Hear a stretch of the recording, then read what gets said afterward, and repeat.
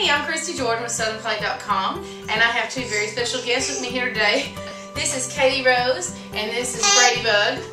And my book is coming out. It's Southern Plate, classic comfort food that makes everyone feel like family.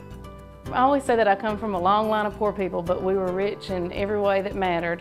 My ancestors were the kind of people that had very difficult lives, but they were grateful at the rising of each sun for everything they had and the wealth of having family and friends that loved them and being able to share dinner around the table together.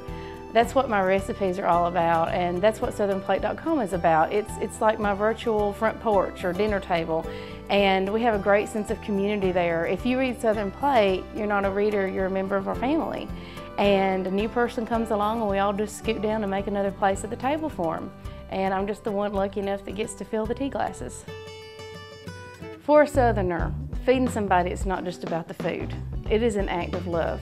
When you cook a favorite dish for someone, it's a way that we're showing them that we love them. We're showing them that we care, and that's what it's always been about. And that's why I say that how your mama did it is the right way. I think why the hearts are sticking love me because of hearts. I'm a mom, and I work hard just like all of you.